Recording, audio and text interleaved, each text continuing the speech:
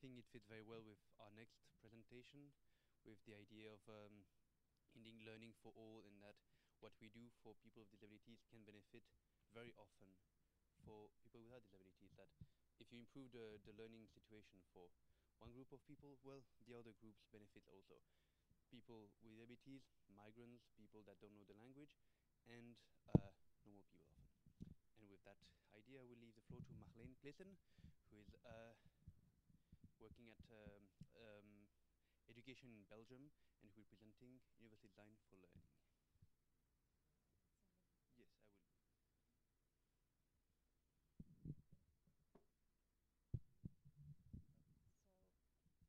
Okay, good afternoon, everybody. Uh, is this okay? Because I don't like to speak with a microphone, but I will do it. Um, I have been working with Tim in the Invest program uh, project, which is one of the projects that was um, in the ALDO project. And in this project, we worked together with four vocational schools in four countries, and we um, sort of investigated the universal design concept and we explore to see if this uh, way of working in, and I will explain what it is huh? if it makes any difference in uh, inclusive teaching in vocational schools. So that's the link with the ALDO project. So I'm going to explain to you about universal design and I plan to tell you the following. So I would like to uh, explain some foundations of universal design um, I would I would like to talk to you about learners' variability um, and about uh, lesson designs and strategies. I would like to go a little bit into neuroscience, just a little bit, because from there on I would like to, to talk about universal design for learning, which is the universal design applied to learning and teaching, and we have guidelines for that. Uh, I would like to go into UDL and differentiation, and a little bit into technology and then questions and answers. And I was really very fascinated in hearing uh, you talk because there were some things that I said, oh yes, this is an example. Oh yes, this is an example. So I hope it is it will be recognizable for you. Okay. Um, so the foundations of universal design. So universal design uh, was a, a sort of um, a new way of thinking in architecture in the 60s. This happened in the United States when there was a lot of war veterans coming back from the wars um, and they couldn't access buildings. That's basic, basically how it started. So the first foundation was how can we make our buildings and our services more accessible? Okay, so I will give you some examples. Um, so not only, uh, so in, in that accessibility not only for the average user, but for all users. Okay, so this is an example. This is the the time when the ramps were developed. Yeah. The, uh, this is an example from a museum where you have the choice. It's also a very important uh, foundations on universal design that you can choose. Yeah? If you have a, need, uh, originally the ramp was was uh, developed for people in wheelchairs, but if I'm tired of, I have knee problems, I prefer also that ramp.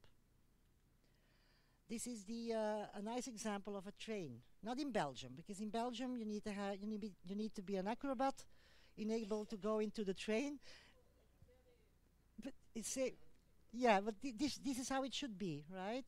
Okay, so this is all about accessibility, but not only in buildings but also in services. For instance, if I would be in a country that I have no idea about the language and I need to go to the toilet, I will be very glad to see that pictogram. So that's also an example of accessibility. This is a, a metro. Uh, so they don't, they don't only use the colors, but they also use symbols. It's not very visible maybe, but they have a symbol of, a, I think, a turtle here and so if you, you, you, you're not, you don't understand the colors, then you can always look at the symbols or you can look at the words. I know that I'm saying something now maybe a little bit in contradiction with what you were saying, but I'll, I'll come to that later on, okay? Because I do agree with you about focus and uh, how did you call it? Um, single media or Okay, so I'll come to that. So anyway, this is another example of um, a metro map that's accessible for all users, right? The second foundation of universal design is that it's a benefit for all. And here again, I, I, I really saw some nice examples of, of what you were saying. Um, for instance, this is a, one of the new swimming pools where normally the ramp was again designed for people in wheelchairs, but we see all kinds of people using it, people with small children, old, old people, and so on. So this is an example of a benefit for all. That's another one, the great invention of the automatic doors. I think all of us are very happy with them. If, if we have our luggage and our or our, our uh, prams or whatever. Pram, you say it like that? Yeah, okay. Uh, and then a third foundation is a proactive design. So um, to begin with, a proactive design, if you think upfront about an accessible design, it will be much more nicer and more efficient than if you retrofit.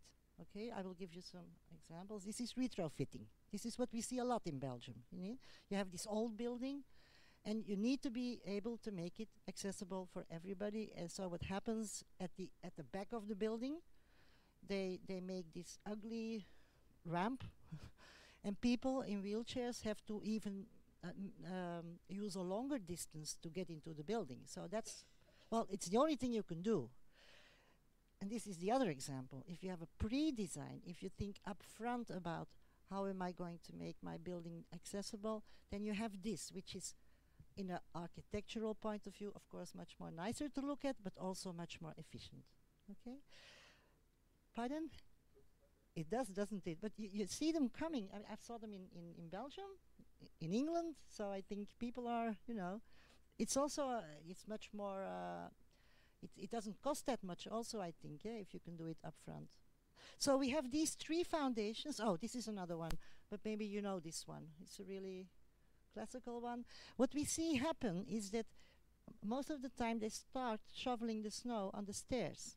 But why not shovel the snow on the ramp so everybody can go in? So why not doing the obvious? Okay, so these three foundations, the accessibility, the design, uh, the benefit for all, and the pre-design, uh, if you apply all that to teaching and learning, then you have your universal design for learning. Okay. Now this is a framework that, as I said, it has emerged from from America, where uh, a group of designers were thinking about. Um, well, they were it was at that time that the edu uh, individual educational plans were developed, and it was a lot of work for teachers. And then they said, why not do, do it the other way around? Why not take another focus? And I'm going to try to explain that. Thinking about accessibility, thinking about benefits for all, thinking about a pre-design. Does it make sense up to here? Okay, thank you. So I'm going to, if, if that's okay, Tim, because I'm looking at the time, I, I really would like to share a little TED talk with you. I'm fond of TED talks. I mean the good ones, you know, TED. Yeah, okay. So this is um, uh, about the myth of the average shoe. And the person that is going to do the TED Talk is uh, a person with ADHD. So he really talks rather fast, but I think you will, it'll be uh, accessible, I think. He's actually a dropout. He was a dropout from secondary school, and he was one of those guys that really, really wanted to achieve in learning. So he went back to school, and at this moment he's a professor in Harvard. So he's really one of those people that didn't give up. It's an old TED talk. He will say something about uh, an Olympic champion. That's really 10 or 20 years, uh, 10 years ago, but so, but it, I think it's still a, a, really good movie to look at. I'm not, I'm not going to present it all, so at, at a certain moment I'm going to stop it. Okay?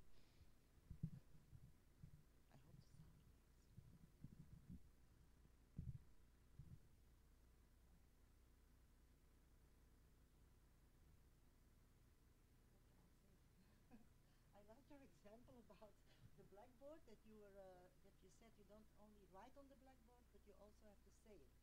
So that's I, have to fill in the time from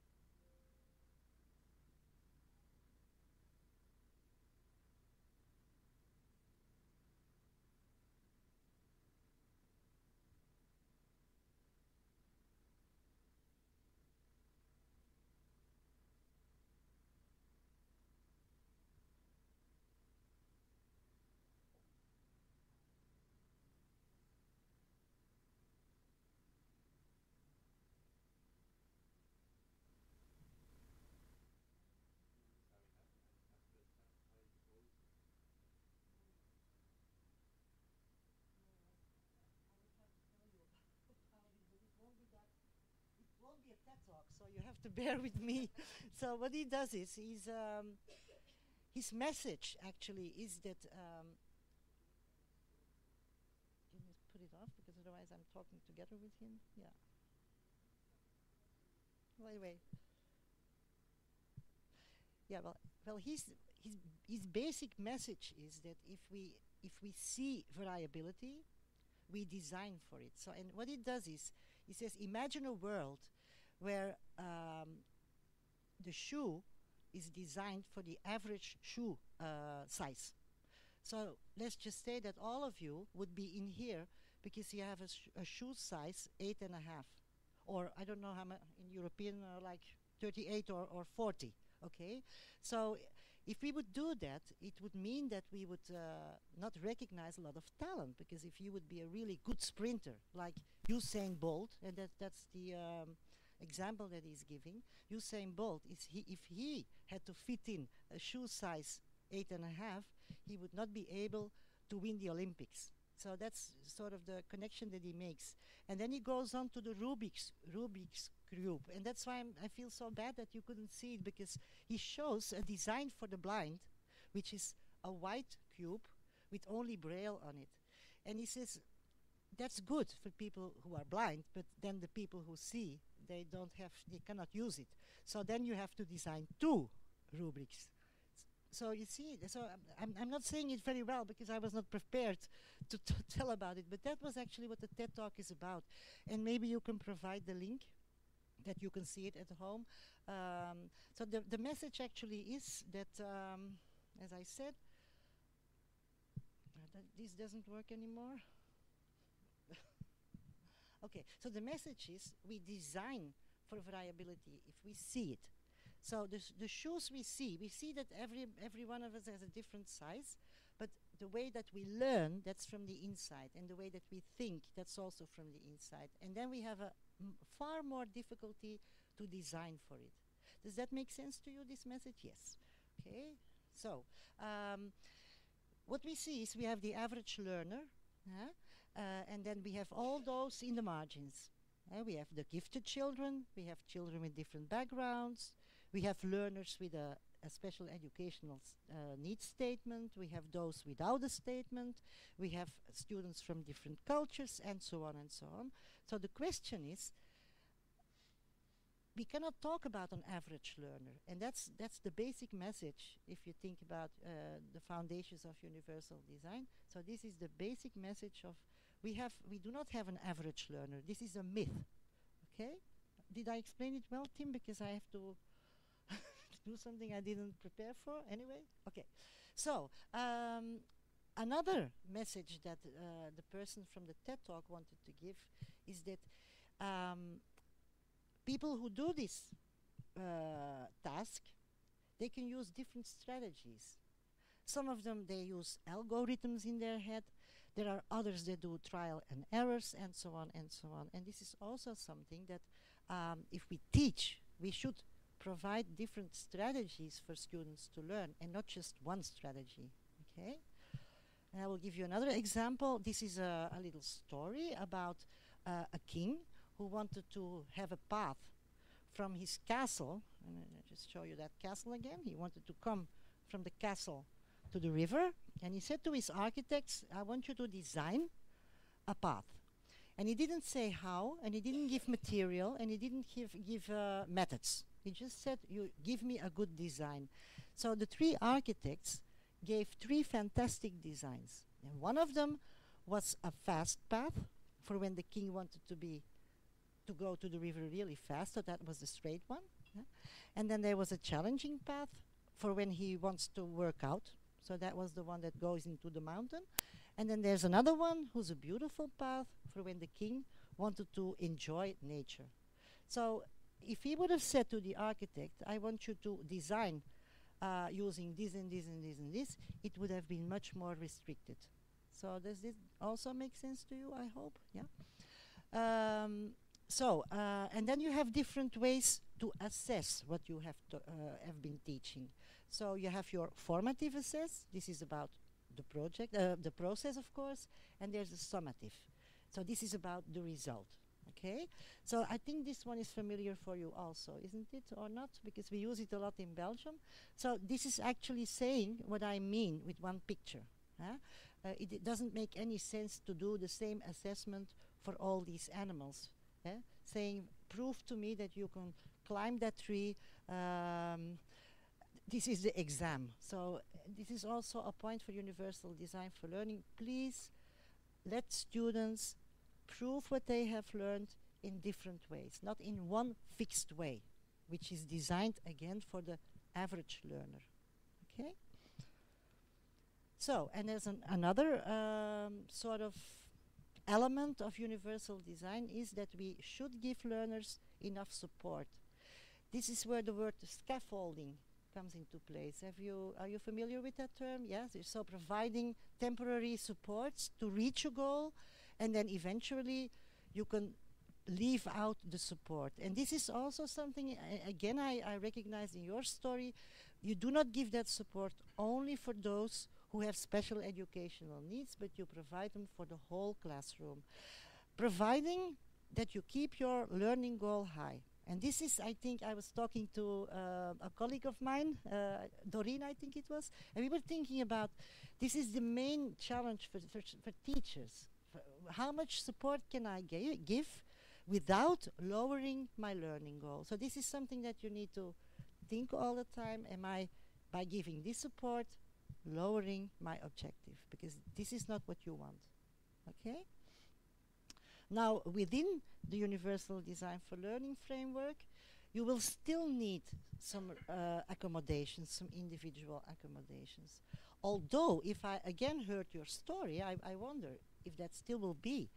Um, let's say that in a hundred years, uh, up till now, you have uh, deaf children in your classroom who may have cochlear implant, but maybe some of them will still need uh, gestures and sign language, but maybe when technology becomes so good and so uh, advanced, and maybe it will not be needed anymore.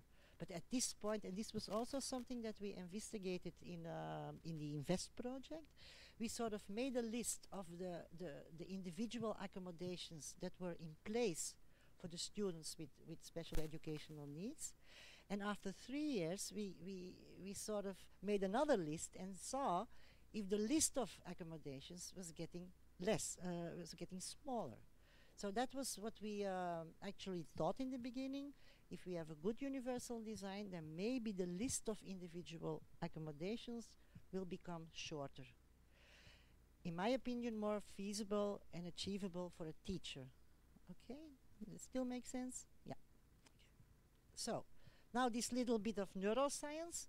Uh, it's uh, I think you said it in your question that uh, we know now that parts of the brain work together and are integrated. Now, um, I will show you in a minute a tool for this universal design for learning. It's a tool that teachers can use to see if they really uh, make accessible learning and uh, designed for learner variability.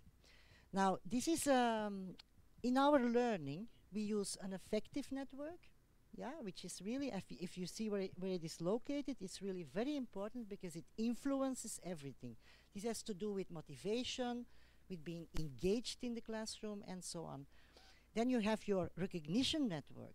If you do not recognize what the teacher is saying or teaching, you cannot learn. And then you have your strategic network. If you do not know how to learn, you will not learn. Now, these three networks, they are, of course, integrated. Okay? So, this is all I'm going to say about, about um, the neuroscience.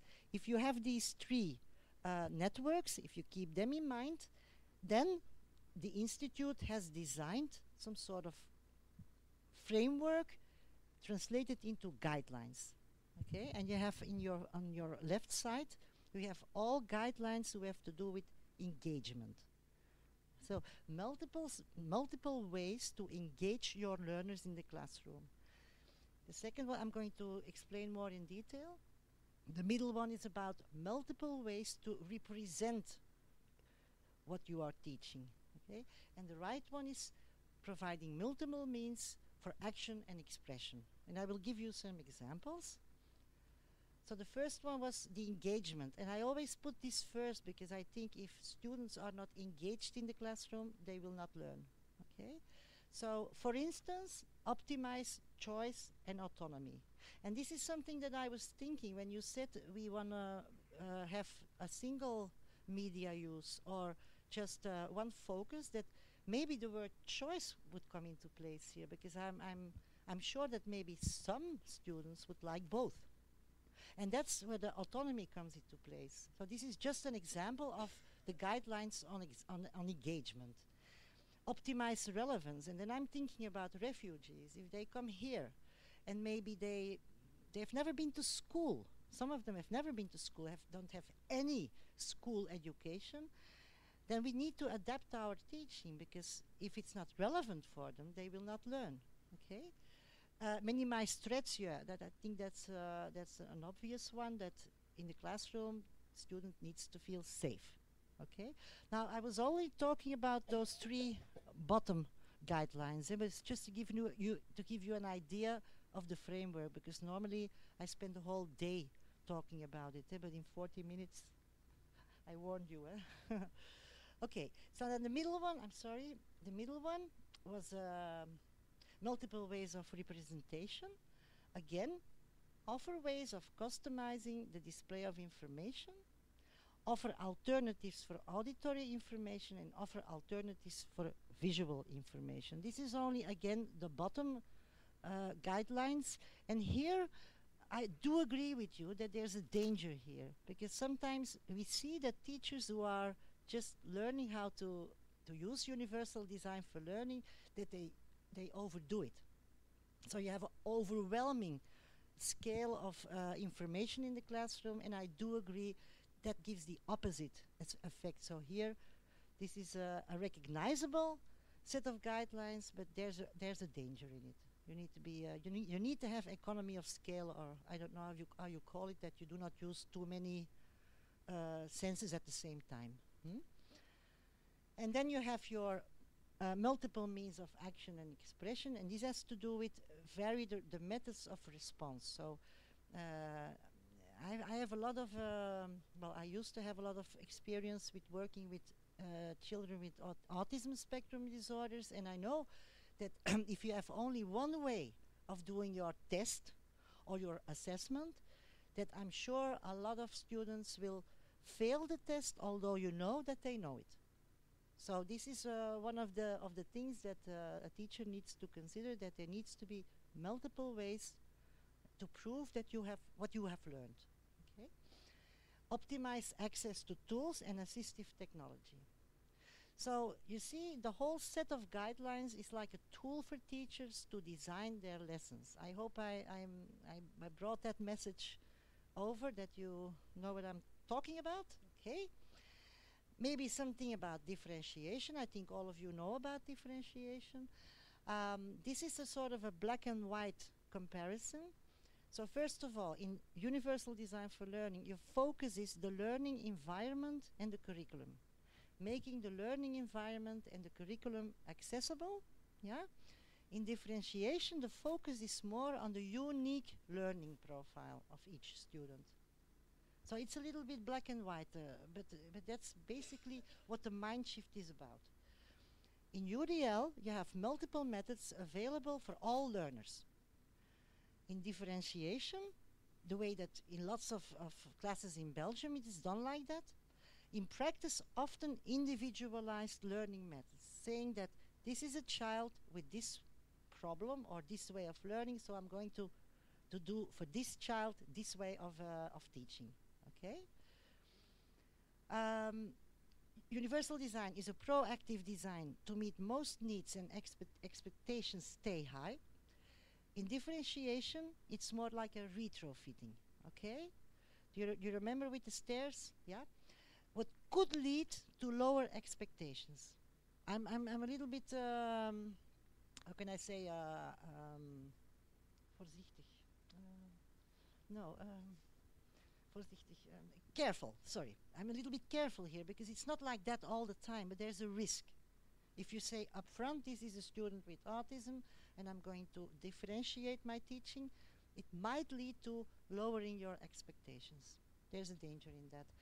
And then for the universal design for learning, diversity is the norm. huh? And barriers for learning come from a one size fits all. yeah? And in differentiations, the barriers for learning are put at the child and not at the learning environment. Okay, so what is the solution then? I think you should start with a universal design of your classroom and then differentiation will still be necessary because you can't fix everything and you don't have to fix everything. So this is a little bit how uh, the two concepts uh, are, uh, let's say, compared to each other. I know there's a, a big discussion that could go on now, but uh, don't, we don't have the time for that, I think, yeah? And then maybe something about technology. It is not true that, need, that teachers need technology to make a universal design classroom. Eh, I saw some beautiful examples of schools who did didn't have any technology at all. hmm? But of course, technology can make your learning environment more rich. That is true. But this is a new device. I don't know if people have been to the Louvre lately. I've been uh, like a year ago. They had at that time it was the new device, and it was absolutely inaccessible. I couldn't. It took me an hour before I could figure out what the different items were and the different uh, features. And there was like a three-dimensional thing and whatever. And in the beginning, it really made me feel my, my self-esteem was really low because I thought, oh my God, I'm getting old and, and I don't understand anything. And then I saw that all the people in, in, in the neighbor, I mean, in my environment were having the same problem. So in this case, this was not accessible technology, so that's not UDL.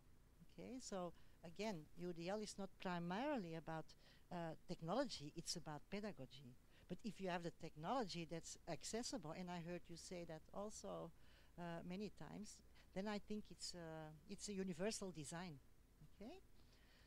So normally there was another picture, uh, another movie, but no, no, if you don't have sound, it's, it's not going to happen, eh?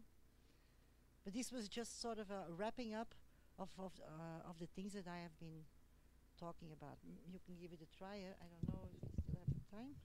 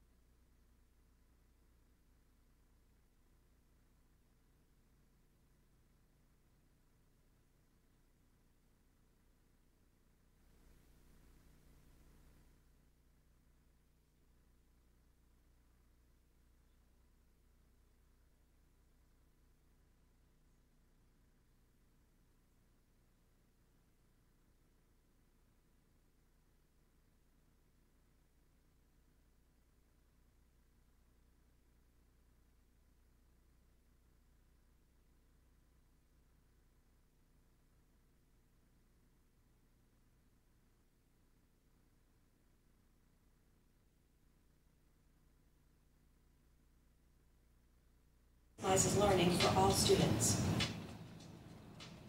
Whoa, that's a fancy term. Universal design for learning. Let's unpack it a bit. Let's think about the word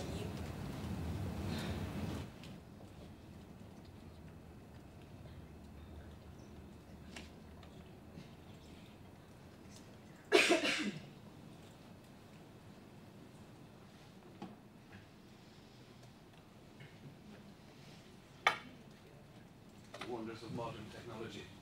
What I suggest, We'll put the link to the website. yeah.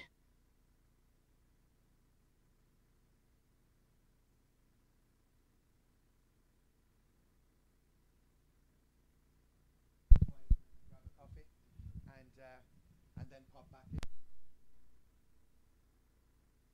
We'll hold because I know there will be questions from Marleen. So we'll hold those. We'll have a quick coffee for five minutes. We'll let that run and buffer for five minutes, and then let it play. And then we'll provide the links as well. Thank you for your understanding. Um, when we left it, Marleen was just going to show us um, a cartoon around U- around UDL in, in, in kind of action. Um, so we're we're c- we're certain that it's going to work and work flawlessly. And after which we'll have a couple of questions then for for Marleen before you move on to our final two speakers of the day. All right. So thank you very much. And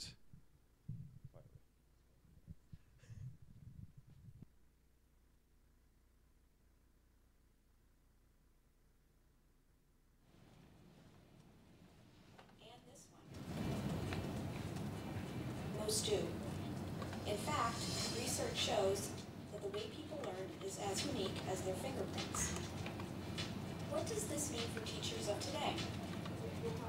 Classrooms are highly diverse and curriculum needs to be designed from the start to meet this diversity. Universal design for learning is an approach to curriculum that minimizes barriers and maximizes learning for all students. Whoa, that's a fancy term. Universal design for learning. Let's unpack it a bit. Let's think about the word universal. By universal, we mean curriculum that can be used and understood by everyone. Each learner in the classroom has their own background, strengths, needs, and interests. Curriculum should provide genuine learning opportunities for each and every student. Now let's think about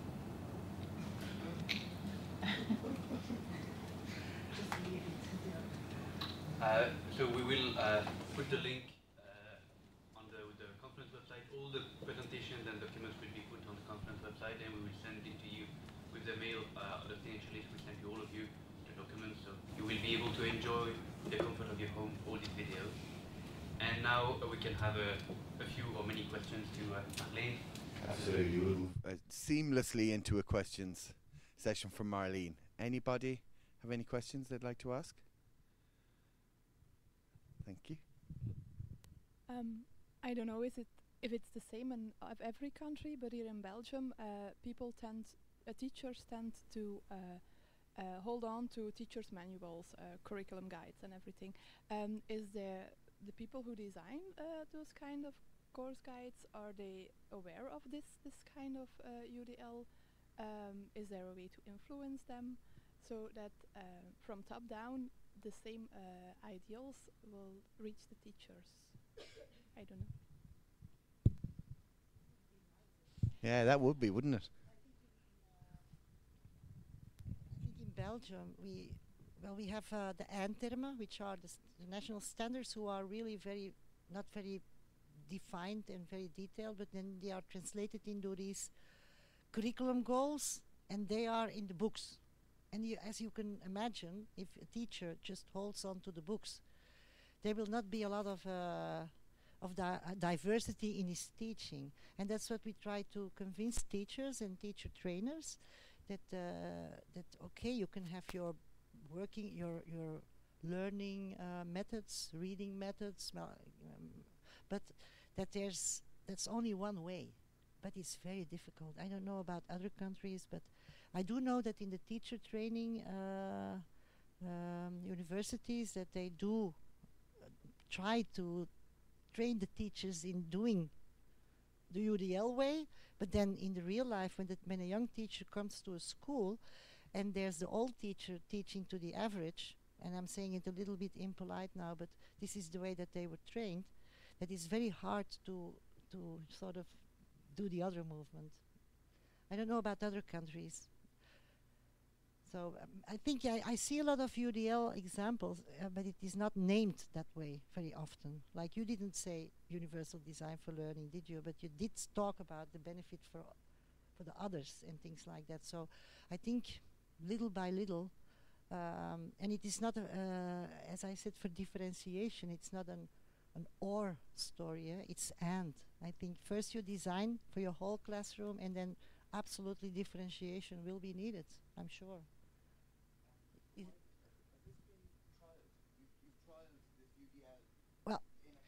Well, that's that's one of the, the questions we we often get. Is this research? But of course, this whole concept you cannot research it. I mean, it would not be very ethical, would it? I mean, if you would, on the one hand, have a classroom doing it this way, but but items of it, like for instance, peer learning, peer teaching, um, the assessment part, like self-assessment, uh, and all these uh, components of universal design for learning, they have been researched.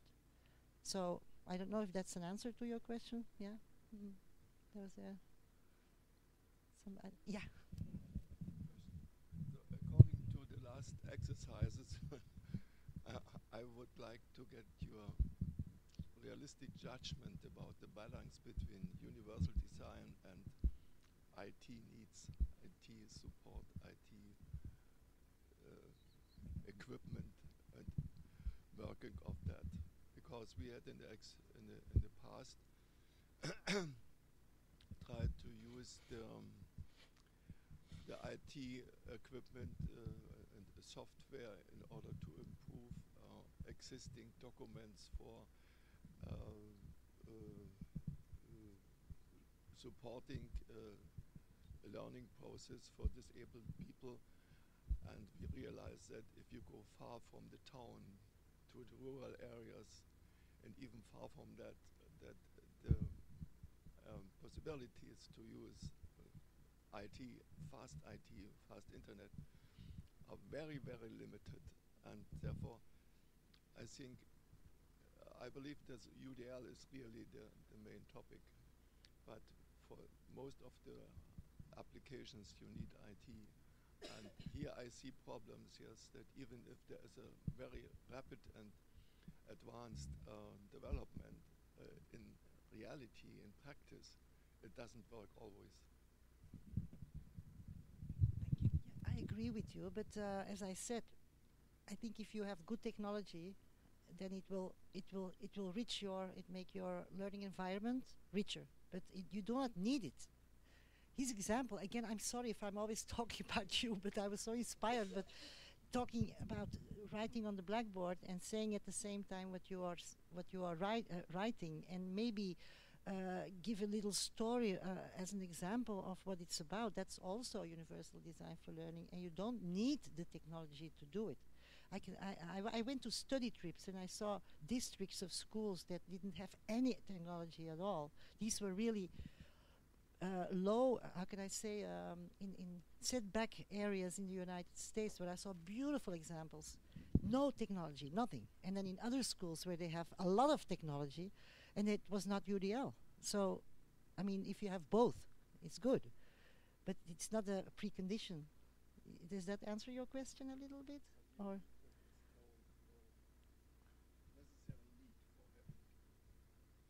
No, it's I don't think so, no. And that's a little bit of a misunderstanding. If you hear about UDL, you automatically think about apps and about ICT.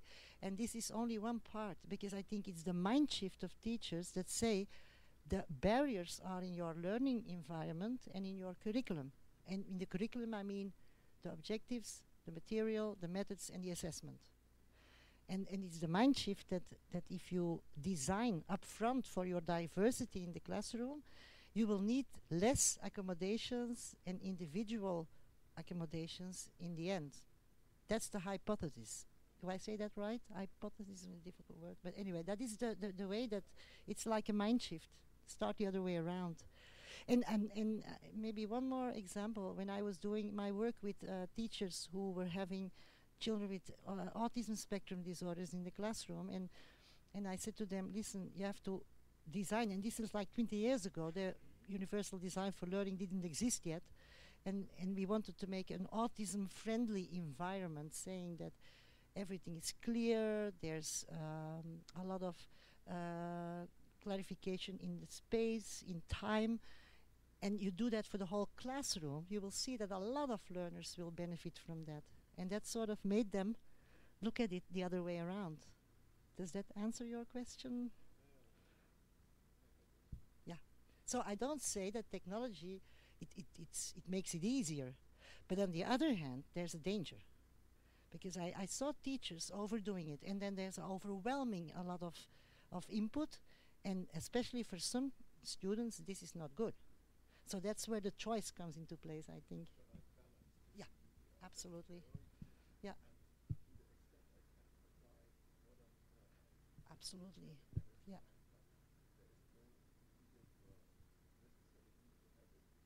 Well, that's what I said with my last sentence. Eh? UDL is not primarily about technology, it's about pedagogy. And then, okay, so, any. Thanks very much, Marleen. That was, as expected, that was uh, very, very interesting. Thank you. Sorry again about the wonders of modern technology. We were talking about technology not moving out into rural areas.